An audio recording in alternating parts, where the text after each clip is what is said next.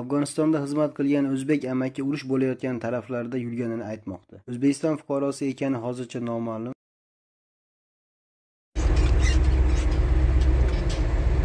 Mana военный iskalatlar. Kamazda akalar, военный Kamazda akalar.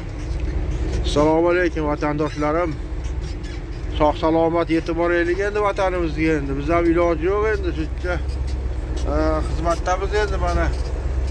Rossiya tomonidan kelganmiz akalar. O'zbeklarimiz ko'p urushga kelganlar akalar. Tojikistondan ko'p.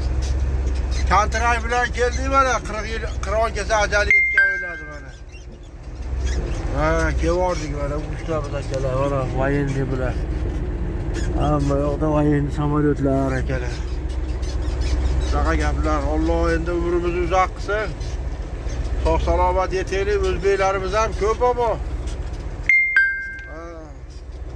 Men endi Afg'onistonda xizmat qilganim uchun olishdi-da meni. Shu. Afg'onda bo'lgan. Ukraina qurolli kuchlarining 15 nafar harbiy xizmatchisi ixtiyoriy ravishda qurollarni tashlab, DXR tomonga o'tdi.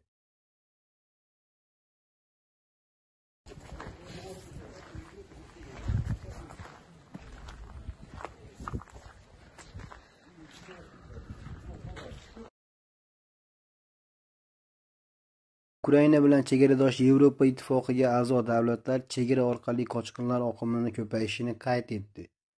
Blok milliondan ortiq qochqinlarni kelishiga tayyorlanmoqda. Russia Today nashrining xabar berishicha, Donbassda bir qancha Ukraina harbiylari ruslar tomonidan asirga olingan. Siz bizning yurtimizga keldingiz. Rus askari va Ukraina fuqarosi o'rtasidagi suhbat.